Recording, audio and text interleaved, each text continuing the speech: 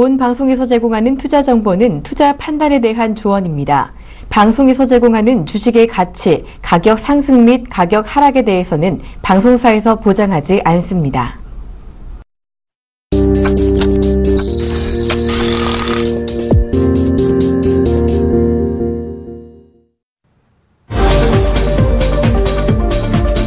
안녕하십니까 종목세일즈 이강문 멘토입니다.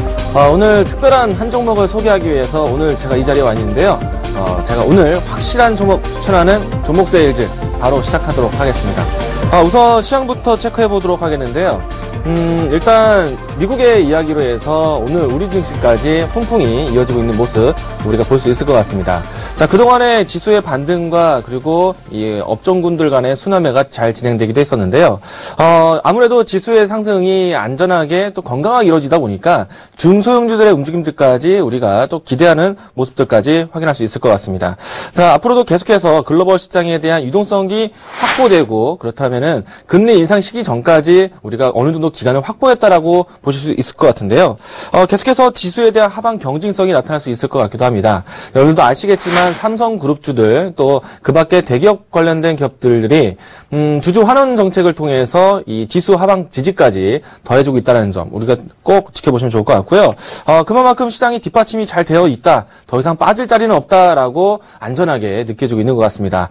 자, 이만큼 투자 심리가 있는 시장이기 때문에 좀 더 더 강력한 그리고 시장에 대한 모멘텀을 찾아갈 수 있는 종목 선별이 중 요할 것 같은데요. 오늘 그 이야기들 나눠보도록 하겠습니다.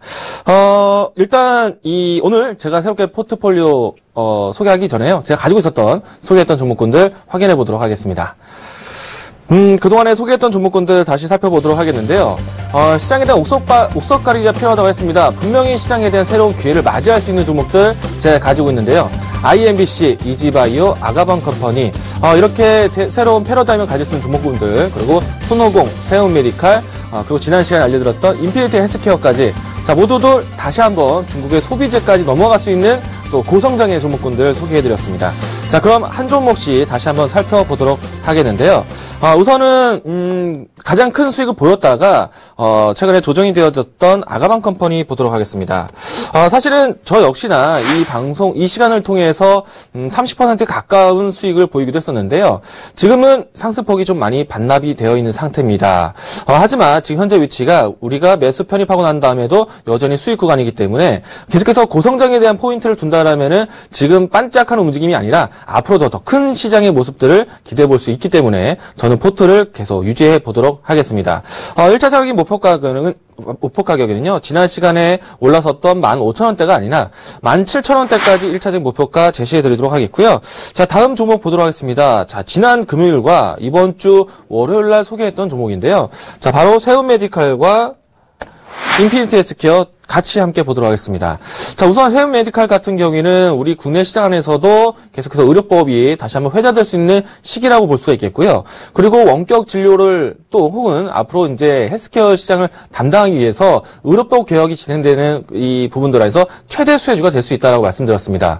어, 일단 세운 메디칼은 국내 시장뿐만 아니라 중국 시장까지 진출할 수 있는 그런 기대감을 가지고 있다고 했었는데요. 어, 새롭게 이 의료 서비스 그리고 미용에 대한 관련된 상품까지 신제품으로 준비를 하고 있습니다. 자 그렇다면 지금의 조정은 오히려 저가 매지에 어, 저가 매수의 매력적인 자리라고 할수 있겠고요. 어, 역시나 세운 메디칼도 꾸준하게 포트폴리오에 포임 어, 편입해서 가져가도록 하겠습니다. 자, 우선은 지금 현재 가격대가 6,000원대를 가지고 있는데요. 예, 1차적 목표가 12,000원까지 상당히 높은 구간을 설정해 놨죠. 아, 그것은 이제 앞으로 새로운 이 시장에 대한 정책과 더해진다라면 큰 탄력을 볼 수 있을 거다라고 말씀을 드렸습니다. 어, 다음 종목도 보도록 하겠습니다. 오늘 어떻게 보면은 세운 메디칼, 인피니트 헬스케어 어, 그리고 또 준비하는 종목이 있는데 음, 인피니트 헬스케어 두 번째 종목입니다. 제가 앞으로 이제 계속해서 누차 설명드릴 수 있는 헬스케어와 원격 진료에 관련된 얘기를 건네드릴 텐데 인피니트 헬스케어는 일단 원격 진료 안에서 가장 우리 시장에서 상위권에 있는 그리고 가장 직결해서 첫 번째로 시행할 수밖에 없는 어, 의료 소프트웨어 기술 회사라고 말씀드렸습니다. 자, 우선 앞으로 계속해서 고령화 사회이고 저출산의 문제가 있다라면요. 어, 점차 이 의료 서비스가 계속 개선될 필요가 있을 것 같고요. 그리고 고령화에 따른 원격 진료가 진행될 수밖에 없기 때문에 그에 관련된 이 소프트웨어, 의료 소프트웨어 기술이 어, 주목받을 수밖에 없다라고 말씀드렸습니다. 아, 우선은 인피니트 헬스케어는 매수 편입하고 난 다음에 어, 일정 부분 수익이 나타나고 있는데요. 어, 이 종목도 단기 수익에 만족하지 않고요. 어, 충분히 가격 상단까지 보도록 하겠습니다. 1차적인 목표가는 13,000원대까지 박스권 상단으로 보도록 하겠고요. 자, 그러면 어, 앞서서 말씀드렸던 세운메디칼, 인피니트 헬스케어, 그리고 다음에 바라봐야 할 특별한 종목, 네, 그 종목 소개하기 앞서서, 어, 본 프로그램에 대한 투자 고지부터 말씀드리도록 하겠습니다. 아, 오늘 이 종목 세일즈를 통해서 이야기 드리는 정보는요, 어, 여러분들 투자에 참고되실 조언을 드리는 이야기들이기 때문에요. 꼭 투자에 판단을 하시는데 참고되시길 바라겠습니다. 자, 그러면 제가 오늘 준비한 특별한 종목 화면부터 만나보도록 하시죠. 아, 오늘 제가 준비한 종목은 인포피아입니다. 앞서 인피니트 헬스케어, 세운메디칼까지 같이 이야기를 드리면서 어, 의료 정밀 그리고 또 헬스케어 관련된 종목군 중에 한 종목입니다. 아, 우선 인포피아 사실은 주가 흐름만 본다라면은 아, 투자자분도 하여금 나쁜 종목일 수도 있겠는데요. 제가 오늘 나쁜 종목 한, 한 종목 가지고 왔습니다. 근데 사실 이 더 깊이 있게 본다라면요. 상처가 많은 종목이었습니다. 그동안에 올 상반기 때 기대치도 있었고 또 다시 한번 올 여름이 지나가면서 새로운 기대감을 준비를 해왔었는데 어, 떤 상처들이 있었고 또 다시 한번 우리가 바라봐야 되는 이유들 어, 제가 준비된 자료와 함께 보도록 하겠습니다. 어, 인포피아 같은 경우에는 일단 여러분들도 아시겠지만은 이 바이오 센서로 하여금 시장에서 소개된 어, 기술력이 있는 회사라고 할 수 있겠습니다. 뭐 상처를 받았던 것들은 사실 피인수에 대한 기대감이 있었는데 두 차례씩이나 어떻게 보면 물을 먹었다라고 할 수 있겠죠. 이 때문에 상처를 받았던 투자자분들도 계실 것 같고 대신에 어, 음, 인포피아가 다시 한번 또 볼 수 있는 시점이라는 점 어, 어떤 이야기가 있는지 준비된 자료와 함께 보도록 하겠습니다. 아, 우선 인포피아를 바라보기 위해서 이 의료 소프트웨어 그리고 이와 같이 이 바이오 센서가 왜 필요한지에 대한 어, 배경부터 보도록 하시겠는데요. 어, 아무래도 이 시장이 고령화다 또 저출산에다 문제가 있다 보니까 또 과거하고 다르게 의료 서비스에 대한 질적 성장을 많이 요구를 하고 있습니다.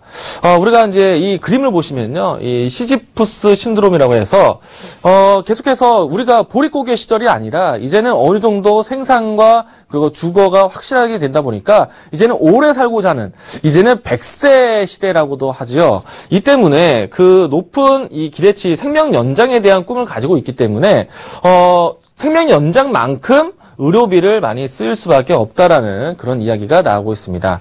어, 일단 의료비 지출에 대한 증가 당연한 결과라고 할 수 있겠죠. 질적인 성장이 의료비 지출을 끌어올리고 있다라는 얘기인데요. 옆에 보시는 도표가 이 과거에서부터 꾸준하게 이 연, 음, 연평균 진료비가 올라간다라는 이런 신드롬에 대한 이야기가 나오고 있습니다. 다음 자료도 보도록 하겠는데요. 어, 일단은 의료 기술에 대한 패러다임을 좀 보도록 하겠습니다. 당연히 아날로그에서 디지털화되는 모습들 확인해 볼 수가 있을 것 같고요. 어, 우선은 이 자동화에 대한 부분들이 아니라 어, 과거에 우리가 발걸음을 직접 병원을 가서 했다라면은 이제는 집 안에서 이 내가 있는 공간 안에서 원격적으로 진료를 받을 수 있는 시대로 변해가고 있다라는 겁니다. 병원에서 집으로 이렇게 장소가 바뀌었다는 얘기고요.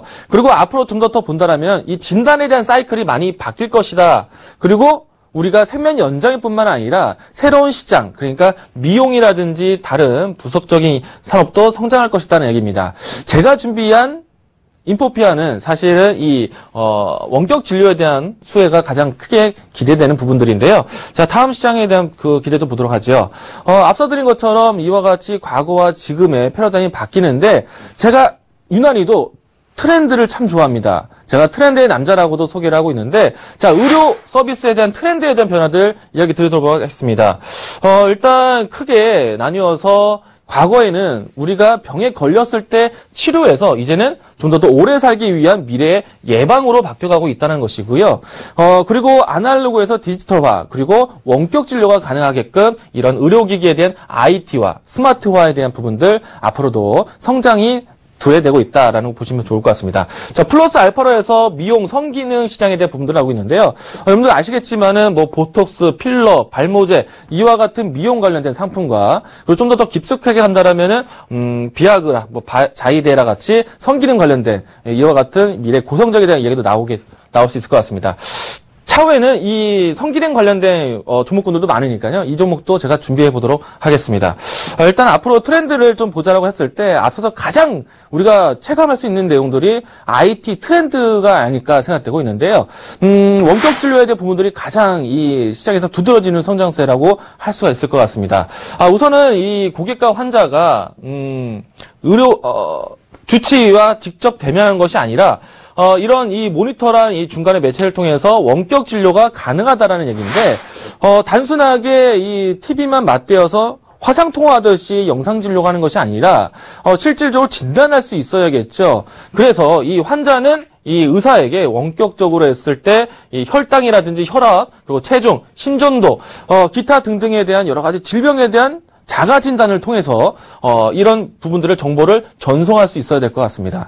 어, 물론 이제 전송해야 될 부분들은 이 PC라든지 휴대폰, 뭐 다른 매체를 통해서 이와 같이 전, 정보를 전달하게 되는데 이것이 바로 원격 진료에 대한 이런 시장이 어, 트렌드가 변화되고 그 안에서 커갈 수 있는 기술적인 부분들이 있다는 거죠. 오늘 제가 준비한 인포피아 같은 경우에는 이와 같이 자가 진단할 수 있는 내용들을 만드는 기기 업체라고 하면, 하면 되겠습니다. 혈압과 혈당, 체중, 심전도 이와 같이 기본적인 것부터 해서 앞으로 계속해서 좀 더 더 질환에 관련된 것까지 어, 기술을 가지고 있는 것이 인포피아입니다. 어, 우선은 이 원격 진료에 대한 시장을 얘기해 드렸는데 원격 진료가 왜 필요하게 되느냐? 어, 사실 똑같은 증세로 해서 다시 한번 병원을 방문하게 되는 재진 환자들이 상당히 많이 일어 있습니다. 왜냐하면은 과거에서부터 고령화가 진행되다 보니까 음, 아무래도 오랫동안 가지고 있었던 만성 질환에 대한 부분들 이 이 원격 진료를 통해서 좀 더 시장이 원활하게끔 진행되는 것인데요. 어, 뒤에 보시는 차트는 이 만성 질환에 대한 유병률에 대한 부분들입니다. 우리가 이 나이별로 분류가 되어 있는데 어 이미 20세 이상부터에서는 어 70대까지 계속해서 만성 질환 환자가 이만만큼 분포되어 있다는 겁니다. 사실 고령화가 진행된다면은 이 대부분의 노인 세대에서 어 아홉은 이 만성질환을 가지고 있다는 것인데 그러면은 똑같은 이유로서 병원을 방문하기보다는 어, 어차피 같은 의약품을 타게 되는 과정을 좀 더 간소화될 수 있는 내가 직접 발걸음을 하는 것이 아니라 원격 진료로 해서 간편 진료를 할 수 있는 그런 시대가 필요하다는 거죠. 다음 자료도 보도록 하겠습니다. 어, 이와 같이 고령화 사회로 해서 세계 시장에서도 의료기기에 대한 성장성을 우리가 좀 기대하고 있는데 이와 같이 자가 진료, 원격 진료에 대한 부분들이 세계 시장에서 이만만큼 매출액에 대한 기기에 대한 시장을 점쳐놓고 있습니다. 어, 마찬가지로 이 환자가 많이 늘어났기 때문이라고 할 수 있겠는데요. 역시나 기술적인 부분을 안에서 인프라가 인프라가 많이 구축이 돼야 된다는 얘기, 얘기라고 이해하시면 될 것 같습니다. 어, 다음은 자가 진단이 돼야지만 그 정보를 이 영상 그리고 다른 매개체로 전달할 수 있다고 했는데 인포피아가 담당하고 있는 만성질환 체크 그 중에서 가장 우리나라의 고질적인 질병이 당뇨병이라고 할 수 있겠죠. 어, 일단 국내 시장의 당뇨병 추이인데 연령대별로 나뉘었습니다. 그리고 막대기마다 시간별로 나오고 있는데 계속해서 연령층이 지나가면 지나갈수록 시간이 지나가면수록 당뇨병 환자가 많이 늘고 있는 추세라고 할 수 있겠습니다. 이건 사회적인 전반적인 풍토이기도 하고요. 어, 여러 가지 그 사회적인 분위기에 서 만들어진 질병이라 할 수 있겠습니다. 가장 쉽게 필요한 것이 당뇨병이고요. 그리고 그 밖에 간질환이라든지 다른 혈액에 대한 검진을 할 수 있는 어, 진단 장비를 만드는 것이 바로 인포피아라고 할 수 있겠습니다. 어, 다음 자료도 보도록 하겠는데요. 이와 같이 자가 진단에서 원격 진료로 정보를 전달할 수 있도록 이wan 어, 자가 진단하는 부분들에 대한 시장인데요. 인포피아가 가장 이제 들어와 있는 시장이라 할 수 있겠죠. 이와 같이 분산 지단 시장에 대한 규모가 계속해서 넘, 어, 커 나가고 있습니다. 올해 같은 경우에는 40조 원의 시장 규모를 가지고 있는데요. 그만큼 시장에 대한 경쟁력이 또 높은 질적인 성장으로 기술력으로 시장을 많이 견주어 보겠죠. 어, 이와 같이 인포, 인포피아가 담당하고 있는 이미 시장에 저, 어, 들어와 있는 시장의 규모가 이와 같이 커지고 있다는 점입니다. 어, 다음 자료도 보도록 하겠는데요. 그렇다면은 인포피아가 과연 이와 같은 시장에서 이와 같은 사회 배경에서 어떤 것을 진행할 수 있느냐. 자, 인포피아 홈페이지를 들어가면요. 인포피아가 담당하고 있는 바이오 센서 기술들이 있습니다. 어, 일단 가장 크게 보이는 것은 이 암진단 센터와 그리고 간질환. 어, 이와 같이 우리가 잘 자가 진단이 어려울 수 있는 부분들도 새로운 바이오 센서를 가지고 있다라고 긍정적으로 바라보시면 될 것 같습니다. 어, 계속해서 DNA에 대한 연구도 필요할 수 있을 것 같은데요. 이와 같이 다른 어, 여러 가지 그 세포에 대한 이 자가 진단을 할 수 있다라는 바이오 센서 기술을 가지고 있는 인포피아라고 할 수 있겠고요. 어, 다음 자료도 보도록 하겠습니다. 앞으로 이 자가 진단을 통해서 정보를 어떻게 전달하느냐가 중요할 것이다 말씀드렸는데 의료 IT 기술이 필요하지요. 그것은 PC를 통해서거나 아니면 휴대폰을 통해서 하게 되는데 음, 간단한 이 진료를 통해서 이 원격 진료 이 자가 진단을 의사에게 전달할 수 있는 매개체를 인포피아가 만들 수 있습니다. 어, 이 보시는 키트 같은 경우에는요, 아이폰에 부착되어서 이 혈당 체크를 할 수 있는 혹은 어, 혈당 체크뿐만 아니라 심전도 같이 이와 같은 것들을 체크할 수 있는 부분들을 기기를 만들어내고 있습니다. 보시는 거는 혈당 체크제인데요. 여러분들도 아시겠지만은 기본적인 혈당 체크 체크기는 인포피아가 만드는데 그것보다 더 앞서 나가서 이 핸드폰으로도 측정할 수 있는 이 키트를 만들고 있다는 점입니다. 어, 보시는 바와 같이요. 아이폰, 현재는 아이폰에 연결된 키트를 통해서 이와 같이 혈액을 체크하고 그리고 이와 같은 정보를 어, 의사에게 전달할 수 있는 매개체까지 가지고 있다는 점이기 때문에 당연히 우리가 필요한 기술이고 앞으로 시장이 커갈 수 있는 기대감도 가지고 있다라고 보시면 좋을 것 같습니다. 어, 우선은 이포피아가 앞으로 미래 시장에서 성장할 수 있는 이야기들을 건네드렸는데요. 자, 그럼 보다 더 자세하게 인포피아 이제부터는 어떻게 접근하면 좋은지 가격적인 전략 화면부터 보도록 하겠습니다. 어, 오늘 현재 인포피아의 가격대가 만원대입니다. 자, 9,800원에서 1,300원대 밴드라면 충분히 매수가 편입할 수 있을 것 같고요. 어, 그동안 상처를 많이 입었지만 1차적인 목표가 2만원까지 과감하게 이야기 드리도록 하겠습니다.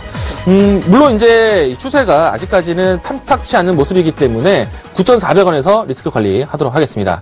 자, 그럼 보다 더 자세하게 주가 차트를 어, 빨리 보도록 하겠는데요. 자, 여러분들이 이 주가 흐름 보시면은 오랜 기간 동안의 차트가 흘러내린 모습이 있습니다. 자, 큰 차트에서 이 종목을 바라보도록 하겠는데요.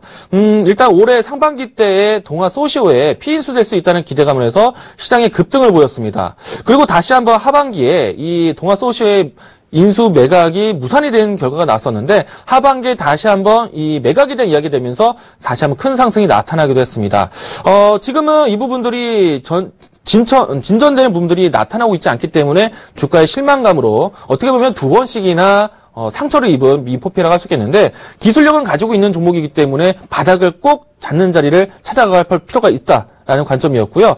어, 일단 지금은 피인수에 대한 기대감을 당장의 눈으로 보기보다는 계속해서 이 안에서 최대 주주에 대한 향방 방향성을 통해서 이 피인수 기대감까지도 가질 수 있다라는 점 꼭 참고해 보시기 바라겠습니다. 자, 우선 그런 관점으로 가격 어, 저가의 매력적인 가격대라고 생각돼서 이 종목 이 자리에서 편입을 하도록 했고요. 만약에 피인수의 기대감까지 더한다면 더 큰 상승이 나타날 수 있기 때문에 어, 월봉선에서 박스권 상단이라고 할 수 있는 2만 원 선까지 1차적인 목표가 제시해 드리도록 하겠습니다. 어, 만약에 이와 같이 피인수에 대한 기대감을 저버린다면 주가가 다시 한번 흘러낼 수도 있기 때문에 9,400원대에서 1차적인 목표가 제, 어, 손절가 제시해 드리도록 하겠습니다. 어, 여기까지 인포피아에 대한 새로운 관점과 그리고 다시 한번 우리가 이 상처를 보듬어야 되는 인포피아를 좀 이야기 드렸는데요. 앞으로도 여러분들이 헬스케어라든지 이와 같은 시장들 중국을 본다라면은 당연히 원격 진료부터 해서 헬스케어 관련된 기업들 꼭 바라봐야 되는 점 한 번 더 이야기 드리도록 하겠습니다. 어, 일단 여기까지 인포피아에 대한 종목 이야기 드렸고요. 여러분들이 앞으로도 계속해서 고민될 수 있는 종목군들 그리고 가지고 있는 종목에 대한 고민이 많으실 텐데 제가 온라인 공개 방송을 준비를 합니다. 매일 월요일부터 금요일까지 진행되고 있고요. 그리고 앞으로도 진행이 될 것인데 이 시간을 통해서 실시간적으로 여러분들이 변화되는 포트폴리오 점검과 그리고 여러분들이 담아가야 되는 미래 고성장의 종목군들 포트폴리오 만들어 드리고 있습니다. 꼭 이 시간에 꼭 참여하셔서 포트폴리오 정비와 그리고 또 진단을 받아보시기 바라겠고요. 어, 어, 다음 주에는 제가 이 공개 방송을 통해서 이야기 드리고 또 다시 한번 강연에도 준비해서 인사드리도록 하겠습니다. 자, 그러면 오늘 어, 종목 세일즈에 대한 방송은 여기까지 진행하도록 하겠고요. 다음 시간에 또 새로운 여러분들 놓칠 수 있는 특별한 종목 가지고 인사드리도록 하겠습니다. 여기서 인사드리도록 하겠습니다.